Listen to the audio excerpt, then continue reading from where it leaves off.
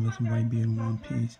It looked like they were really close in the battle. I actually watched it, but it looks like Whitebeard was actually just playing just one shots out and and but the art animation this place like yet One Piece has been missed miss.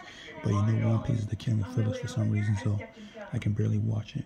So what do you guys think about the fight? What do you guys subscribe and see you next video. Bye. See you next video.